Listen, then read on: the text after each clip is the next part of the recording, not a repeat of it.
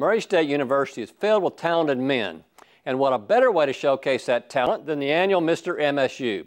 Rachelle Peck was there to catch all the action. We're here at Mr. MSU, AOPI's annual event where contestants come out and show off their talents for all of Murray's campus. We even got a special interview with Allison Allgaier, AOPI's international president.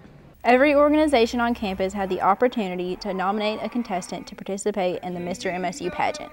The Mr. MSU contestants participated in an opening number dance, modeled their formal wear, showed off their talents,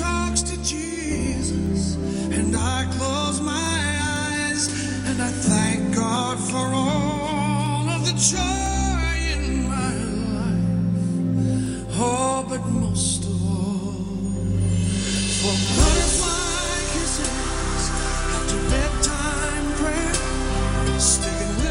and completed an interview and essay. Other awards that were presented to the contestants include Mr. Congeniality, Crowd Appeal, Best Legs, and Most Photogenic.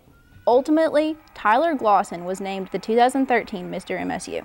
All my friends are just going to be really surprised. It's, it's a blessing, really. I was very surprised. I, I didn't think my interview was as good as it should have been. I was so nervous after that, and, and I knew I did okay on my, on my talent. But I, just, I did not expect it at all. My face showed it.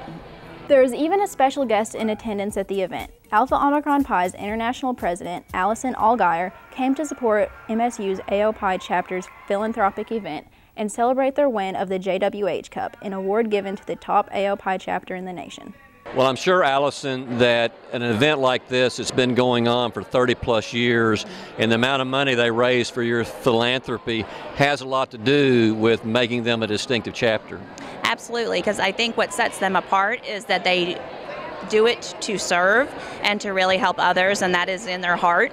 And that's what they um, do to really help impact the Arthritis Foundation in a positive way. And what a great platform this is as an event for thou, you know a couple thousand people to come and learn about the Arthritis Foundation and what AOPI does to help impact the arthritis um, community. For a chapter to be the top in the country, talk a little bit about the things that, that are criteria and things that they had to do to gain such notoriety.